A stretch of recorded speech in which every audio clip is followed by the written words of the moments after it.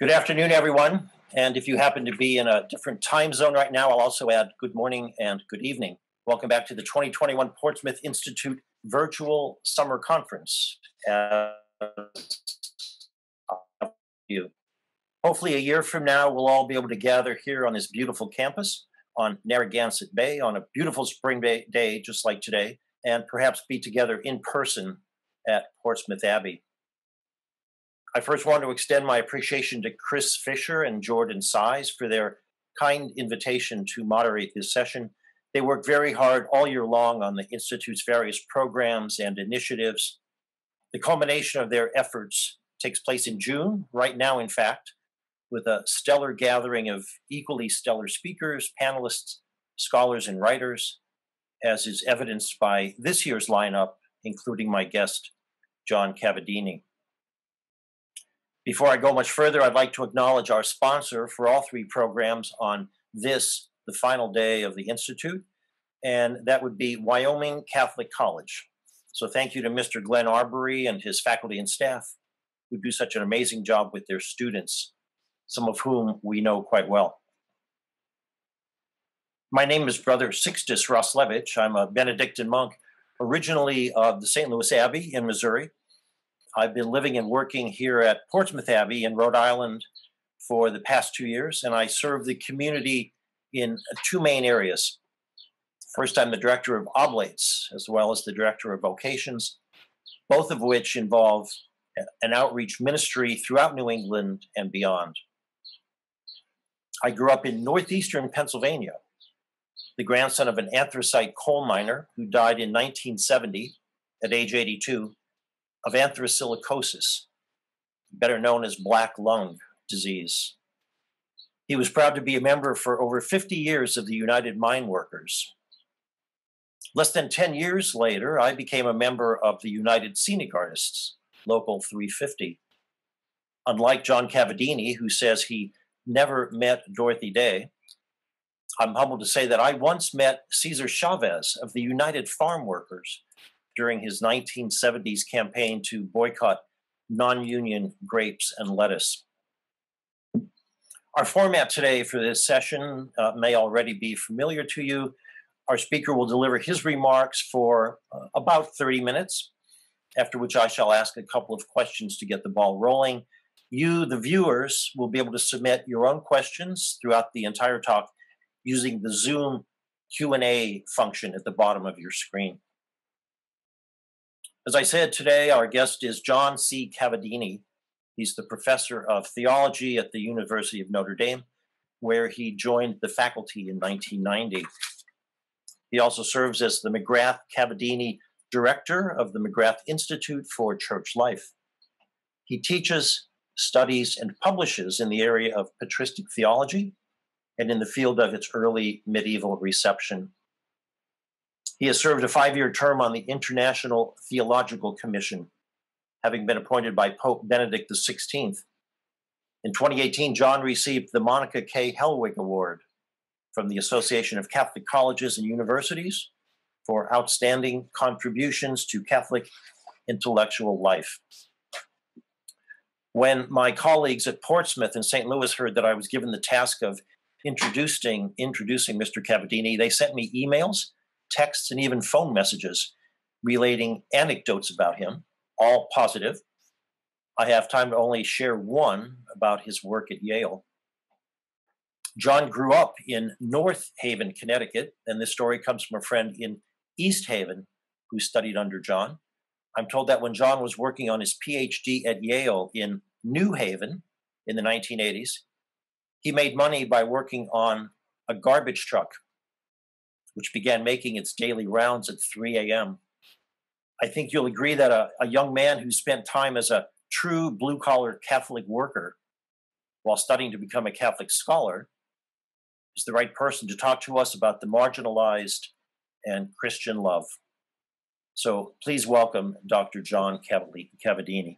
Thank you.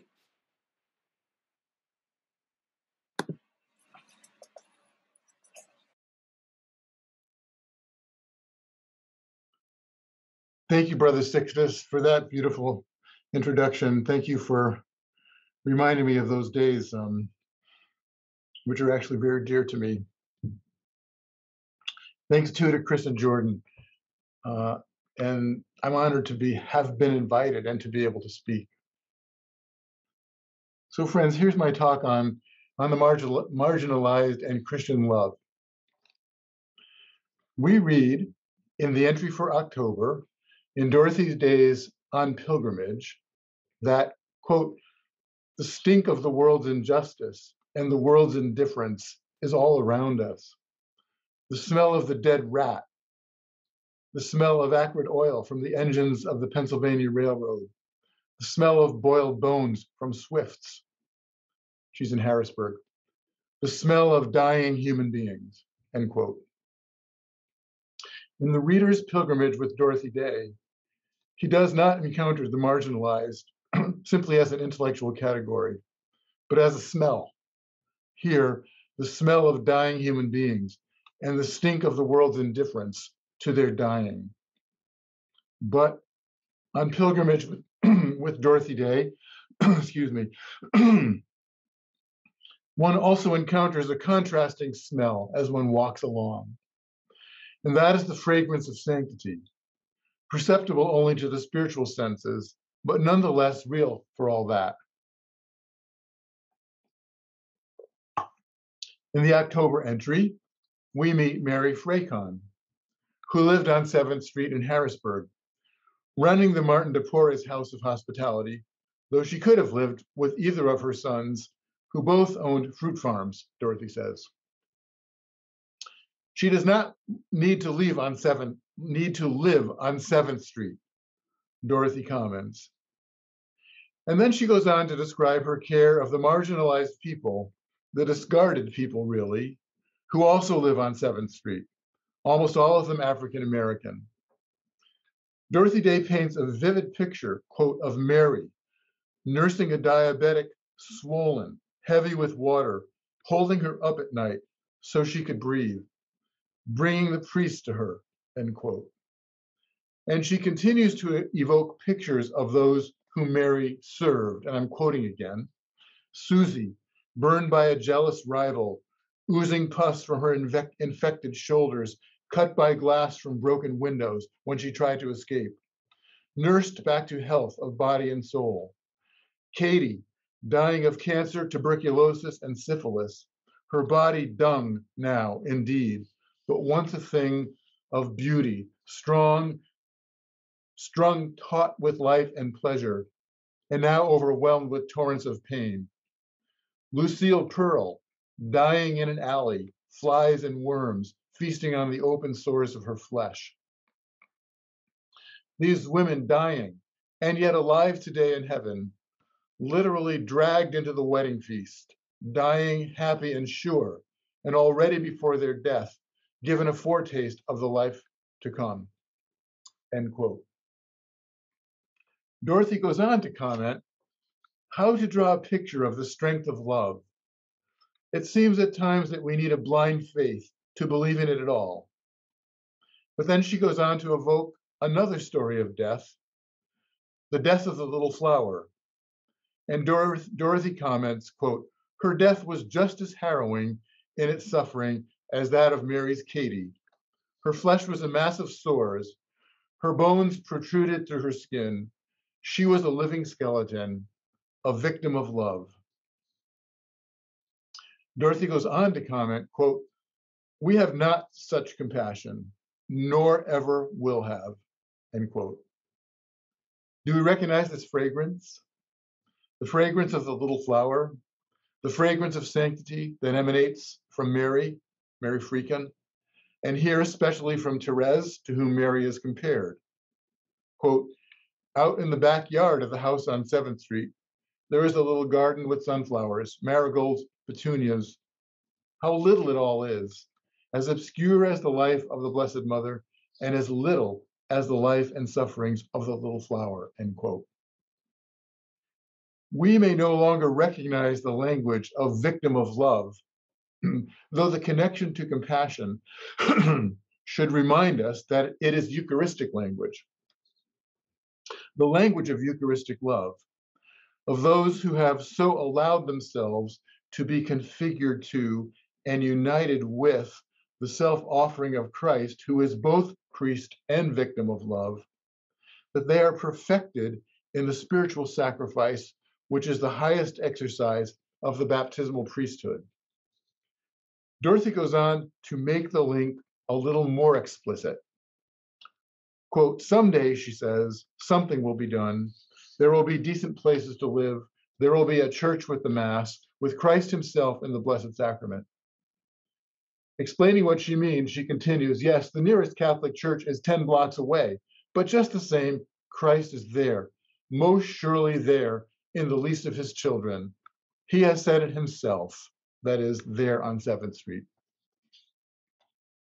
Later, in the November entry, which continues the reflection on the love that can bear to stand in the midst of the stink of injustice and indifference, and of the smell of the rat that died in the walls of a tenement with no way of removing it, and the smell of dying human beings. It is a supernatural love, Dorothy comments, realized in the purgations of the sufferings it welcomes, a love which achieves an intimacy that we can only call ecclesial. Quote, True love is delicate and kind, full of gentle perception and understanding, full of beauty and grace, full of joy unutterable. Eye hath not seen, nor ear heard, what God hath prepared for those who love him. And there should be some flavor of this in all our love for others. We are all one. We are one flesh in the mystical body, as man and woman are said to be one flesh in marriage. With such a love, one would see all things new we would begin to see people as they really are, as God sees them, end quote. Such a love, she says, has a flavor. And also, I'm adding, a fragrance. For, as the bride says to the bridegroom in a passage from the Song of Songs, which Dorothy had quoted earlier, thy breasts are better than wine, smelling sweet of the best ointments. Nor does one have to be a mystic or even a member of the church to catch a waft of this fragrance, so seemingly imperceptible in the midst of the stench of death of dying human beings. As Dorothy had already told us, in the ministrations of Mary Frecon, Katie and Lucille Pearl had, in the midst of the stench, a foretaste of the wedding feast and were able to die happy and sure. The fragrance of the breasts of the bridegroom, anointed for the wedding feast, clings to his members, especially to those perfected ones who have been willing to be considered fools for Christ, like Mary, living on 7th Street when she could have been living on her son's fruit farm. In a literary way, Dorothy has shown us how the ordering of Christian life towards the marginalized towards a renewed seeing of those who are otherwise invisible or from whom we might naturally avert our gaze is not simply a matter of duty, following the instructions of the wise moral teacher named Jesus of Nazareth, which anyone who wished to follow these instructions could attain. Instead, it is here portrayed as an expression of love, an expression of the intimate one flesh union with Jesus the bridegroom, the savor and fragrance of his mystical body, a union achieved even as it is represented in the Eucharist. In a magnificent passage from the May Day entry of On Pilgrimage, Dorothy explains this idea in a way that evokes the theology behind it. The context is a discussion of disagreements among strategists for various modes and apostolates of Catholic social and spiritual mov- movements. But here's a quote But our unity, if it is not unity of thought in regard to temporal matters, is a unity at the altar rail. We are all members of the mystical body of Christ, and so we are closer to each other by the tie of grace than any blood brothers could be. All these books about discrimination are thinking in terms of human brotherhood, of our responsibility one for another, We are our brother's keeper, and all men are our brothers, whether they be Catholic or not.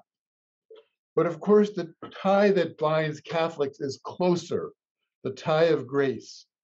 We partake of the same food, Christ. We put off the old man and put on Christ. The same blood flows through our veins, Christ's. We are the same flesh, Christ's. End quote. But then, to make sure we do not conceive the illusion that the church is a kind of self enclosed club of intimately connected elite intended to privilege its own members, flowing with the blood of Christ, over the rest of humanity, Dorothy adds, drawing from a good Augustinian well, quote, but all men are members or potential members, as St. Augustine says, and there is no time with God. So who are we to know the degree of separation between us and the communist, the unbaptized, the God hater, who may tomorrow, like St. Paul, love Christ, end quote. The church is precisely not a sect, not enjoined or allowed to close in on itself in self congratulation for being the body of so great a head. I'm echoing Augustine here, you'll see, you, see, you, you recognize. But the love which binds it together and makes it what it is impels us to love outward to all of humanity, members or potential members. It's the very love that binds the church together as church, the very intimacy of it that opens our eyes to a new way of seeing people, including and especially the otherwise invisible, but certainly smellable Susie, Katie, and Lucille Pearl. The Augustinian theology, which, which has flowed into the literary production of Dorothy Day's journalism and social and spiritual writing, rises to articulation even more explicitly in another contemporary Augustinian, Benedict XVI. And we have only to look at his first encyclical to see this. Speaking of the sacrifice of Christ on the cross, which we can contemplate in St. John's image of the pierced heart of Christ, and from this contemplation, Benedict says, we can understand the starting point of this encyclical letter God is love. Benedict continues Jesus gave this act of oblation an enduring presence through his institution of the Eucharist at the Last Supper. He anticipated his death and resurrection by giving his disciples in the bread and wine his very self, his body and blood, as the new manna. The Eucharist draws us into Jesus' act of self oblation. More than just statically receiving the incarnate Logos, we enter into the very dynamic of his self giving. The imagery of marriage between God and Israel is now realized in a previously inconceivable way. It had meant standing in God's presence, but now it becomes union with God through sharing in Jesus' self gift, sharing in his body and blood, end quote. But being drawn into Jesus' self gift creates what Benedict calls a sacramental mysticism, one which he says is social in character. It is intrinsically social. For, quote, in sacramental communion, I become one with the Lord like all the other communicants. As St. Paul says, because there is one bread, we who are many are one body, for we all partake of the one bread, 1 Corinthians 10 17. Therefore, Benedict continues, union with Christ is also union with all those to whom he gives himself. I cannot possess Christ just for myself. I can belong to him only in union with all those who have become or will become his own. This nearly directly echoes the passage from Dorothy Day cited above, because it's drawn from the same theology and sensibility. Dorothy talks about members or potential members. Benedict is saying, who have become or will become his own. So Benedict continues. Here is the usual contra- here the usual contraposition between worship and ethics simply falls apart.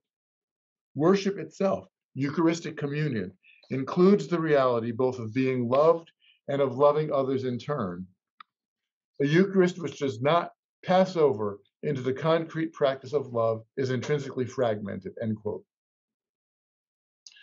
Thus, the we that is the church, the we that the Eucharist creates, is not a we that can close in on itself and remain fully itself. United in communion by and with the unreserved and unrestricted total self oblation of Jesus on the basis of this intimate encounter, as Benedict calls it, echoing, however distantly, the Song of Songs, I learned to look on this other person not simply with my eyes and feelings, but from the perspective, what Dorothy would call the supernatural perspective of Jesus Christ. His friend is my friend. Seeing with the eyes of Christ, I can give to others much more than their outward necessities. I can give them the look of love which they crave. End quote. Doesn't this echo what Dorothy Day had said just above? She said, With such a love, one would see all things new. We would begin to see people as they really are, as God sees them, that is, as Jesus sees them. Benedict mentions the example of Mother Teresa and the Eucharistic encounter of the neighbor in need. In her case, the most invisible and disposable neighbors on the streets of Calcutta. The love that forms the church is intrinsically and indefeasibly outwardly directed. As Benedict concludes, quote, it makes us a we, which transcends our divisions and makes us one, until in the end, God is all in all, end quote, citing 1 Corinthians 15 28. It's important to pause here and to note, though, that this ever expanding we that ends only eschatologically when all things are made new, following Dorothy Day, who uses the book of Revelation, or when God is all in all, following Benedict and 1 Corinthians. This ever expanding we does not obviate, but rather presupposes the mystical body proper the sacramental unity in the body and blood of Christ that the Eucharist creates. The Eucharist makes the church, as the CCC puts it.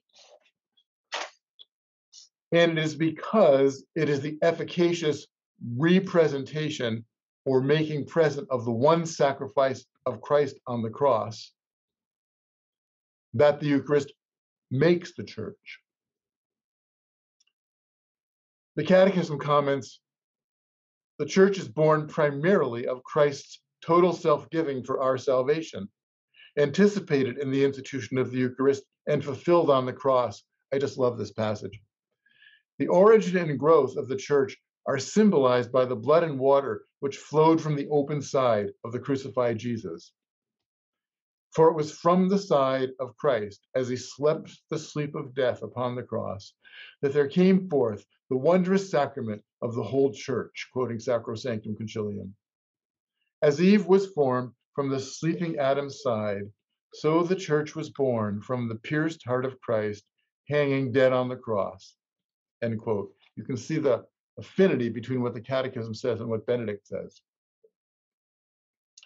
This means that the church is as Dorothy Day said, the church is not reducible to a secular fraternal organization constituted by the will of the members to offer mutual support and fellowship and to do good works. There's nothing wrong with such groups, but the church is essentially different.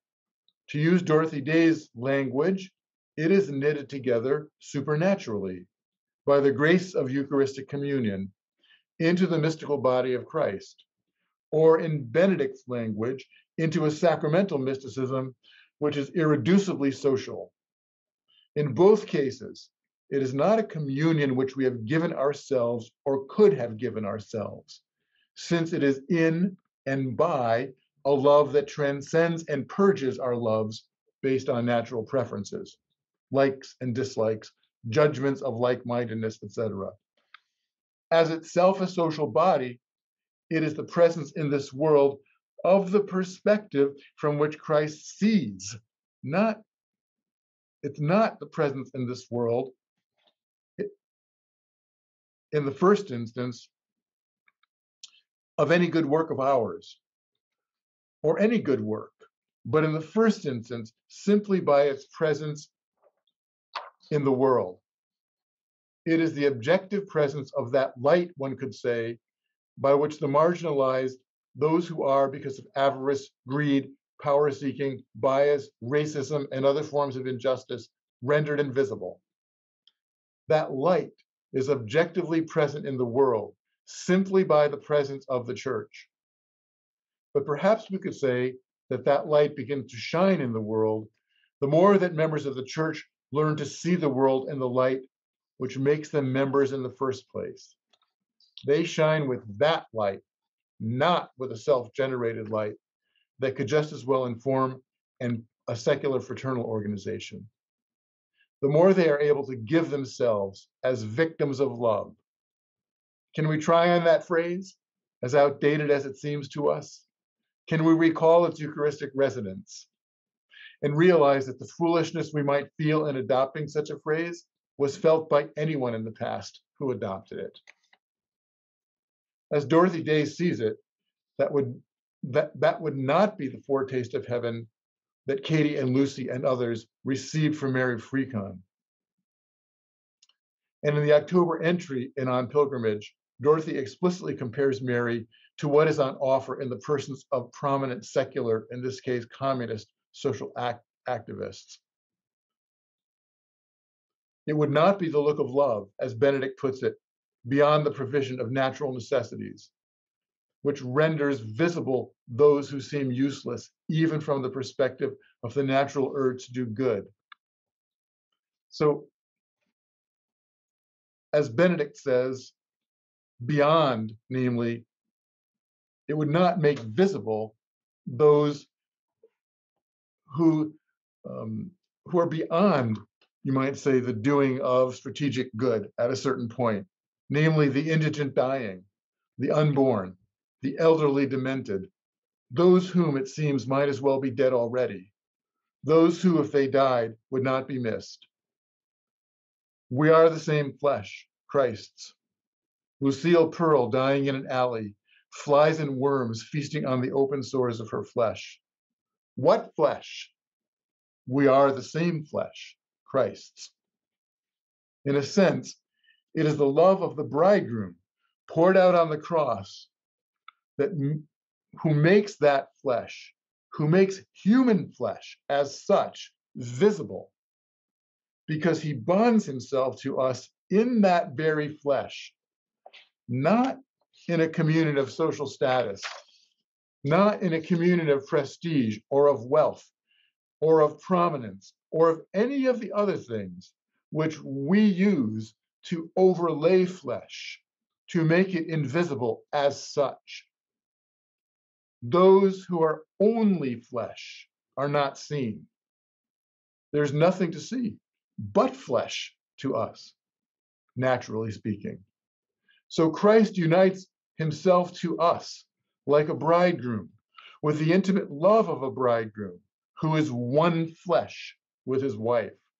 In a union which is not a one social status union, a one wealth level union, a one possession of power union, but a one flesh union, naked of all the things we use to block the intimacy of flesh with flesh, to deny it, to turn our eyes away from it. The church is the sacrament, the wondrous sacrament of this one flesh union. The church is the bride, the society visible as any other, but knit together through the efficacy of the Eucharist by a bond of love, it did not and could not give itself, the love of the bridegroom. Formed into this specific, visible, and sacramental communion, we can begin to see the world with Eucharistic vision. We could say with spousal vision, without which we could not see anyone as members or prospective members of the church, whether in time or beyond it. This kind of spousal vision that renders visible the human flesh of the world that is marginalized, or as Pope Francis might put it, thrown away as trash in a thrown away, throwaway culture of consumption. This kind of spousal vision is anticipated, I think, in an unforgettable and even breathtaking contemplation on love of the church in Pius XII's encyclical Mystici Corporis, written in 1943 in the middle of World War II as the atrocities of the Third Reich were becoming more and more known.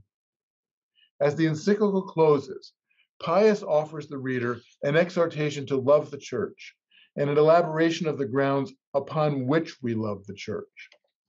He opens this reflection as follows Venerable brethren, in our exposition of this mystery, which embraces the hidden union of us all with Christ, we have thus far, as teacher of the universal church, illumined the mind with the light of truth. And our pastoral office now requires that we provide an incentive for the heart to love this mystical body with that ardor of charity which is not confined to thoughts and words, but which issues in deeds. End quote. Pointing out that the church is a city made of living stones with Jesus Christ as the cornerstone, he goes on to exult in terms that sound a little bit like boilerplate.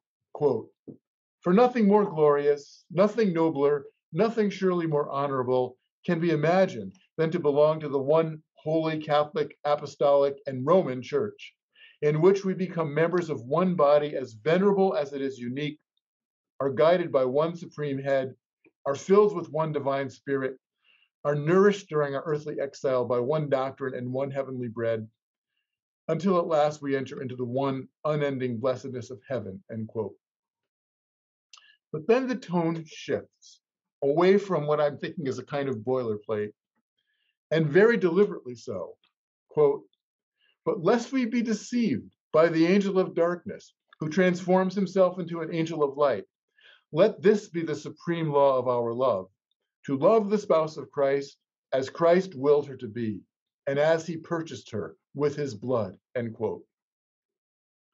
Then, after mentioning the many gifts which we receive from the church, the sacraments, the sacred rites, the beauty of the chants and ceremonies, and even the sacramentals, for all of which we should love the church, Pius makes another move forward.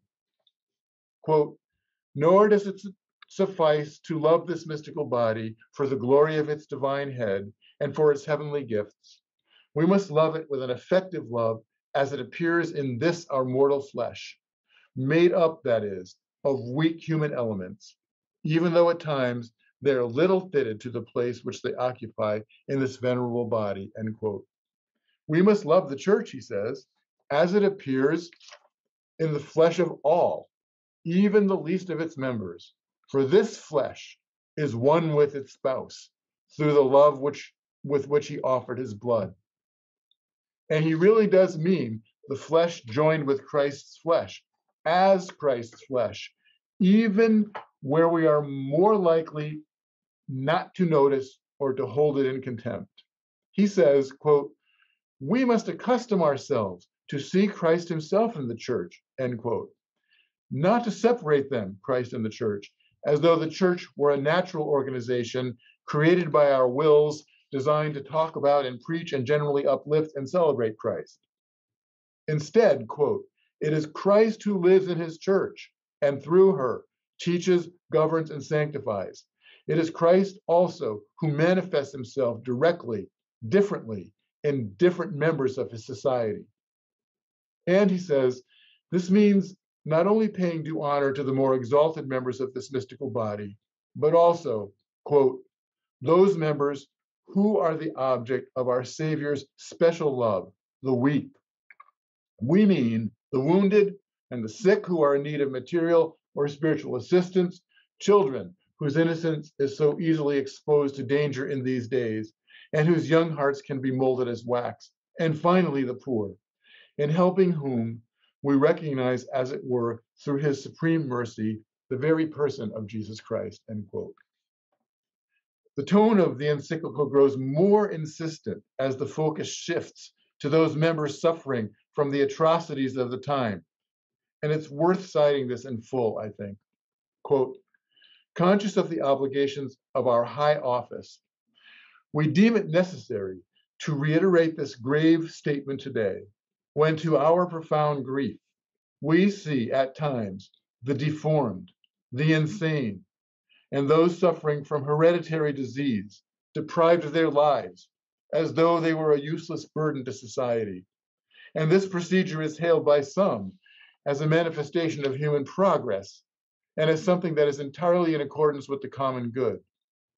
Yet who that is possessed of sound judgment does not recognize that this not only violates the natural and the divine law written in the heart of every man, but that it outrages the noblest instincts of humanity.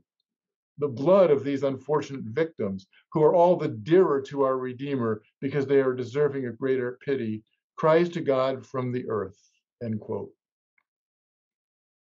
And then in a one sentence, standalone paragraph used to emphasize the point, we read that in order to guard against the gradual weakening of that sincere love which requires us to see our Savior in the church and in its members, it is most fitting that we look to Jesus himself as the perfect model of love for the church. In other words, our love of the church should be conformed to that of the love of Jesus himself for the church. For we don't love the church on natural grounds alone, that's for sure, as though it were a natural or worldly enterprise. Pius ups the ante even farther, then, appealing right off the bat to the breadth, the width, the breadth of Christ's love for the church. Quote, and first of all, let us imitate the breadth of his love. For the church, the bride of Christ, is one, and yet so vast is the love of the divine spouse that it embraces in his bride the whole human race without exception, end quote. It's just almost shocking. This doesn't mean that the distance between members of the church and those who are not members is erased as though it were inconsequential but it means that the love which forms the church, which makes it church, is ordered towards love of all flesh as such, as though. No, as through, in his bride, and by his bride. This embrace is tendered without restriction. And so our Savior, he says, shed his blood precisely in order that he might reconcile men to God through the cross and might constrain them to unite in one body, however widely they may differ in nationality and race. True love for the church, therefore, requires not only that we should be mutually solicitous one for another as members and sharing in their suffering, but likewise that we should recognize in other men, although they are not yet joined to us in the body of the church our brothers in Christ, according to the flesh, called together with us to the same eternal salvation.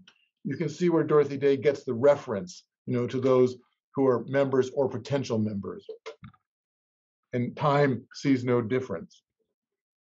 In a pointed reference to the hatred lodged against any group on the grounds of nation or race, he continues, it is true, unfortunately, especially today, that there are some who extol enmity, hatred, and spite as if they enhance the dignity and worth of man. Let us, however, while we look with sorrow on the disastrous consequences of this teaching, follow our peaceful King, who taught us to love not only those who are a different nation or race, but even our enemies. While our heart overflows with the sweetness of the teaching of the Apostle of the Gentiles, we extol with him, that is in the letter to the Ephesians, the length and the breadth and the height and the depth of the charity of Christ, which neither diversity of race or customs can diminish, nor trackless wastes of the ocean weaken, nor wars, whether just or unjust, destroy. End quote. I can't think of a passage in a papal encyclical to which the word sublime might be applied more aptly than to, th- than to this one. Not that that's a, genre given to sublimity. it is because the blood of Christ was poured out for the church without reservation or restriction. And it is that very love which makes the church the church. The love of the church becomes love of this love, love of its length and the breadth and the height and the depth of it. Love of the church, properly understood, does not collapse in on itself to our triumphalism that is self congratulatory and sectarian, but rather entails seeing beyond its visible borders to those marginalized, really to those despised, because in a way, they are just flesh, flesh naked of the markers we value, we prefer. To see that in this very flesh, naked of those things, is Christ. The church is the sacrament of this flesh, of its visibility, and of the special love, as the encyclical puts it, that Christ has for them, which makes them dearer to him. If we were to translate this special love into contemporary terms, we would get the preferential option for the poor, which enters the compendium of the social doctrine of the church at section 182, where it notes that the preferential option for the poor should be reaffirmed in all its force. And it explained that this is a special form of primacy in the exercise of Christian charity, citing John Paul II. Pope Francis, citing this passage from John Paul II, reminds us of the theological grounds for this preferential option. God's heart has a special place for the poor, so much so that he himself became poor. In other words, the option for the poor is primarily a theological category rather than a cultural, sociological, political, or philosophical one. I'd like to add that it's also an ecclesial category. For the love which inspired the incarnation, the self emptying of the Word in order to live an authentic human life in solidarity with us, is the same love with which Christ makes the church.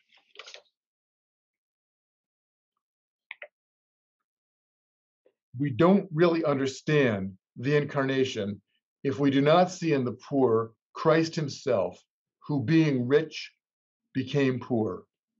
If we do not see in the poor the limbs or members of Christ.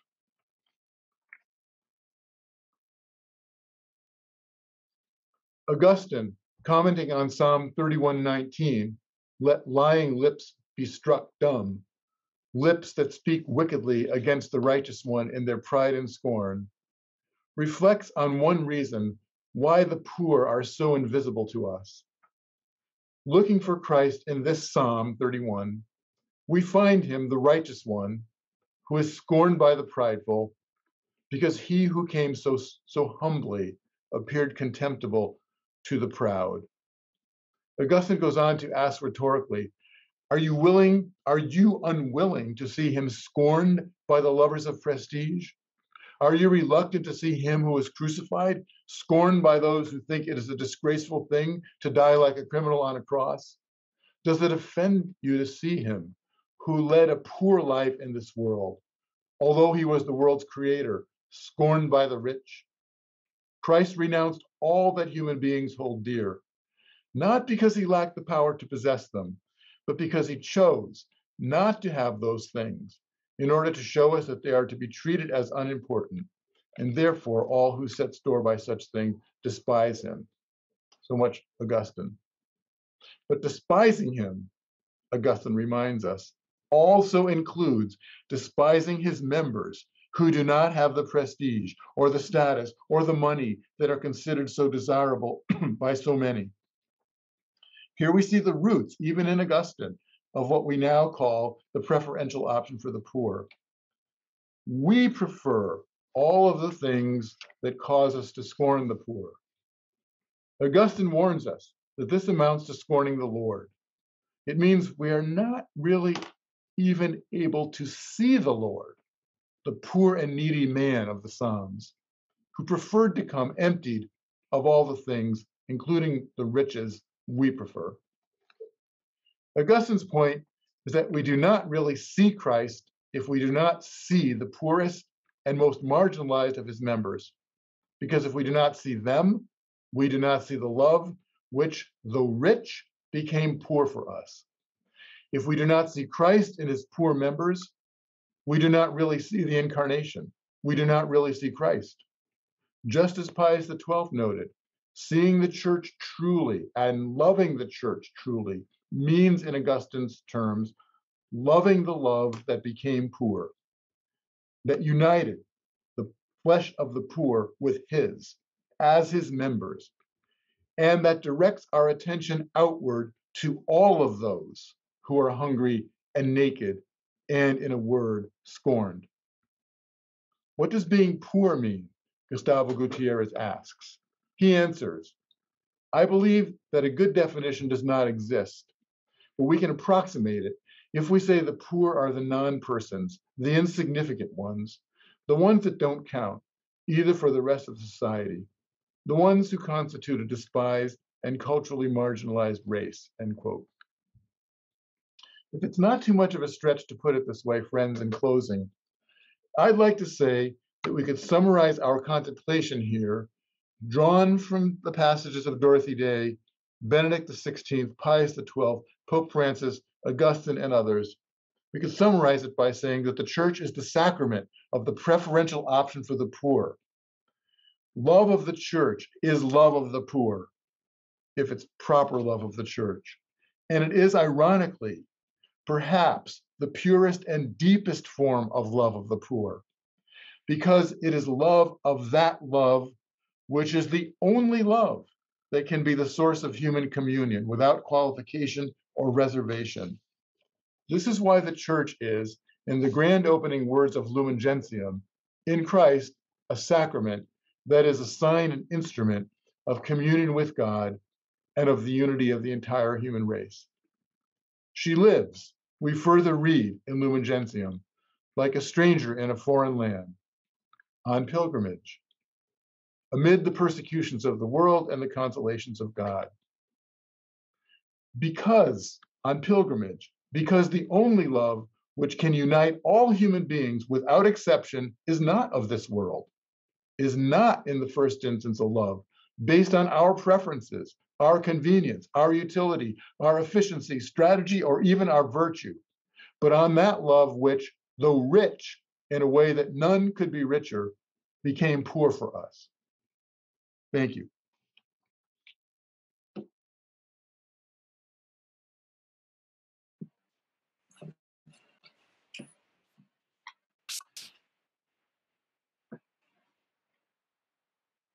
Thank you, John that was amazing, and I I think this has been recorded, so this will be uh, a priceless piece of um, teaching to have. Uh, take a deep breath. I, I, had a thought, and we and we do have some questions from the outside, but um, of course we're talking about all of this uh, as the country and the world are sort of winding down. We're told from the pandemic, before we began today, you described some of what you were going through at Notre Dame. Uh, at, a, at a university level, of course, we've been going through sort of the same uh, protocols and issues and guidelines and restrictions, not only from our local bishop here in Rhode Island, but from the governor and, and beyond. Um, but something uh, struck me yesterday, and, and, let me just read this to you. Um, again, in, in the context of coming down from this pandemic, uh, this is a quote I'm going to read it. It's very short. It's only about four sentences. It's a quote that could have been written yesterday or even last century by Dorothy Day or Cesar Chavez. Here's the quote Many of the poor are ill and bedridden. Let all keep a watchful eye on their neighbors and let no one deprive you of the care of even one of them, thus stealing the treasure out of your very hands. Embrace everyone you find in distress value such a person like gold. Look after him in his sickness as you would look after yourself, as you would care for your wife, your children, and servants, and the whole of your household. In fact, that was not written yesterday. It was the second reading Thursday morning, two days ago on Thursday. It's from a homily by St. Gregory of Nyssa, written in the late fourth century in Turkey. And I think all you have to do is ask any one of your local volunteers at the St. Vincent de Paul Society, and they will tell you that their work this past year, uh, because of what we've been going through, um, has just increased a hundredfold. It's amazing. Um, I told you that uh, when when my colleagues in various places heard that I had to introduce you and uh, they wanted me to hear some stories about you. Um, last night, late last night, an email came in from a brother monk priest in St. Louis, and he reminded me that he recalled a conference that I gave to the young men at our St. Louis Priory School almost 15 years ago. And it was based on an essay that I had written for Father John Kavanaugh, SJ, at uh, St. Louis University. I took a philosophy of human nature course from him. And uh, my friend remembered that I spoke about your very topic today about marginalization. And I wrote it shortly after my mother had passed away. In a nursing home from Alzheimer's. She may have been one of these demented people, uh, according to the staff at the at the nursing home, and she may have been categorized as marginal by some people. So I made the analogy in the essay, but also to the the schoolboys, that when I was in college, I sometimes made notes in the margins of my books with pencils so they could be erased. I don't like to deface books, but uh, I made notes in the margins of the pages. And so these marginal jottings often elucidated, um, opened up a dense idea in the main text that I might not have understood at the time. So often the marginal jotting, the marginal jottings were more important to me when the time came to study for an exam. So in a similar way, the marginalized in society, the people, uh, they, they are indeed important, as, as you've made clear. And in a way, they help to enlighten the rest of us in the mainstream, in the main body, about our own place and responsibility in our community. And we have a couple questions before I turn it over. Uh, a text just came in. I'm going to embarrass you. This was someone who wanted me to uh, uh, mentioned some of this. Uh, he studied under you at Notre Dame. He says, I did study under Professor Cavadini, and it was one of the singular privileges of my life. He says, in a day when theology has devolved into a mere academic enterprise for so many, Professor Cavadini remains a theologian in the truest sense of the word. He is the person described by St. Augustine in his 26th homily on the Gospel of St. John where he writes, Give me a lover, and he will know by experience what I am talking about. Give me a man of desires. Give me someone who is hungry. Give me someone traveling thirsty through this wilderness and panting for the fountain of eternal life, and he will know what I am saying. Professor Cavadini understands precisely because he loves God and his church. Thus, he is a Eucharistic man who brings out of his storehouses things old and new, communicating the beauty of God's love and thereby transforming the lives of many, including his students, among whom I am humbled to be numbered. Happy Father's Day. So, John, uh, here's a question from a viewer. What do you make of the tendency for Catholics to separate themselves into groups one concerned with liturgical orthodoxy and one with social justice. Where does that division come from and how can it be mended? Yeah. Um, Dorothy Day kind of refers to this in, in um, one of those passages I quoted. I didn't quote the part where she refers to it, but she's talking about arguments that people are having about um, oh, the, the proper form of marriage preparation, uh, other liturgical matters, and this kind of thing. But that's when she says, know, we have to understand that the unity that we share, the unity that we have, is deeper than those things. Um, it comes at the altar rail, as she put it. Um, it's a unity that's that comes because we're tied by grace, as she puts it, which is the grace of the blood of Christ. And so I think she's saying maybe we could take these um, differences of emphasis or opinion and remember that's what they are, but that there's something that we have that binds us together that's deeper and infinitely more priceless and precious. And that remembering that might make us look at each other a little bit differently and notice the stake that we actually have in each other. I know that I know there's a kind of um, you know, for example, divide. Often you see it in student bodies between um, I don't know, maybe pro-life Catholics and social justice Catholics or something like that. Um, and it's like I I'm always trying to say, look, both of you have a stake in human dignity, right? You're defending human dignity, which is what Christ, in uniting himself to our flesh, just our flesh, not our achievements, is uplifting that dignity of just that flesh. And you have a stake in each other, therefore, because you have a common stake in human dignity. And so there's a kind of maybe you know transaction possible that might not have been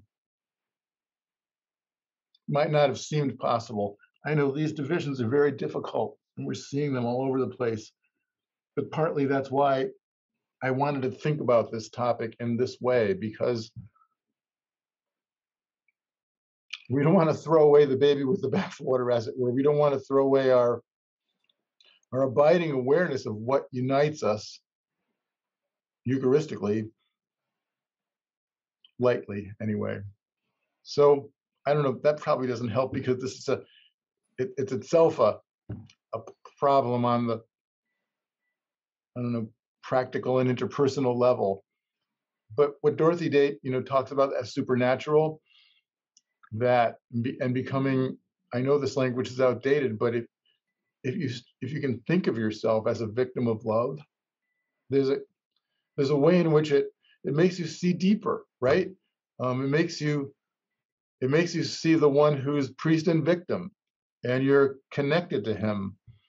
It's a language that's unsettling, but it it cuts across a lot of it unsettles a lot of people in a lot of different camps. I don't know. I, I, I just mentioned it because Dorothy uses it so much and reminds us that it's a Eucharistic category. Thank you. Uh, there's a term I just learned recently from uh, the corporate, corporate world, and it's called siloing. And so many times, uh, a, a, big organization finds people divided into separate silos, and they they don't cross over. And they really need to be all together in a large barn, I guess, not separate. um, but they, yeah, but they don't have that unity. They only have, you know, a sort of secular, fraternal, or business like link. They don't have what we're talking about, which is make exactly. different. Beautiful. Um, here's a second question. How does the Christian teaching of accepting one's cross enter into this discussion?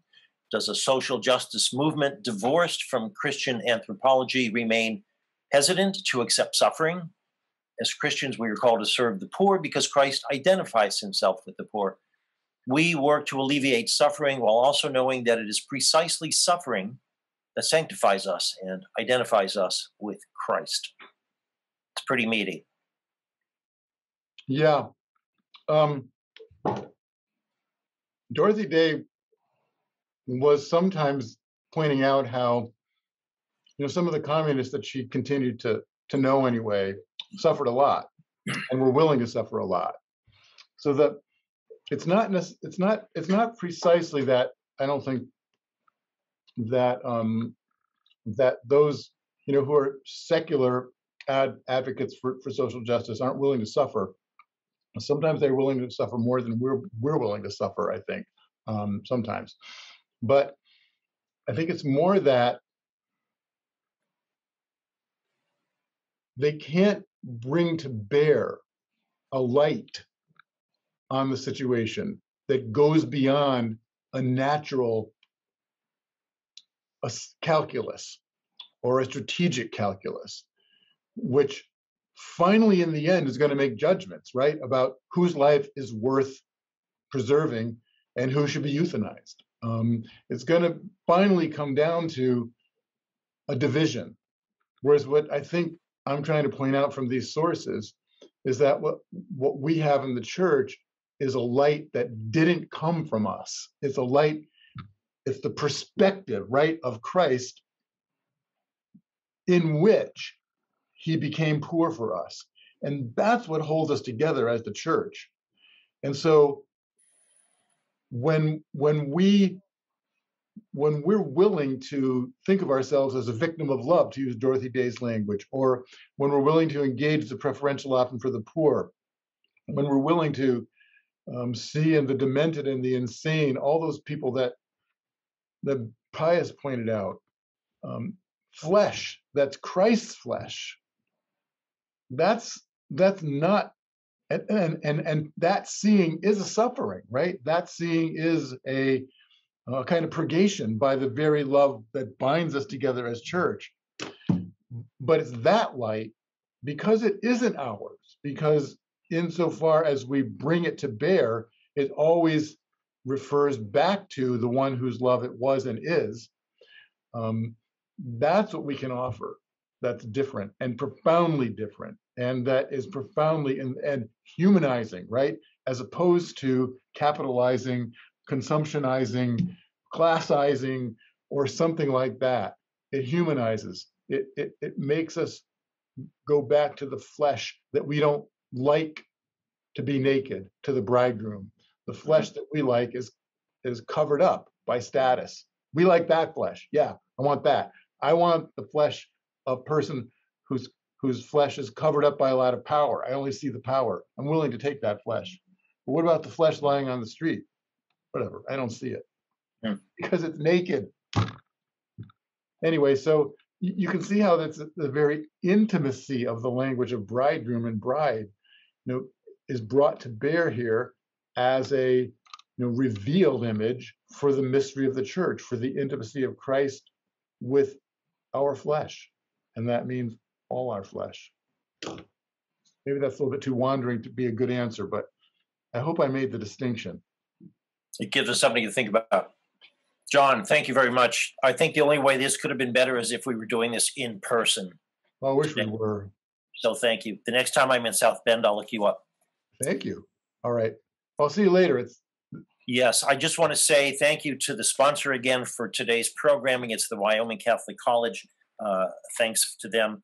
Um, the next uh, session starts at 2 o'clock p.m. Eastern Time, and that's with Brandon McGinley and Chad Pecknold. And its title is uh, The Culture, the Nones, N O N E S, The Nones, Culture, the Nones, and Christian Love. That's uh, session three coming up at 2 p.m.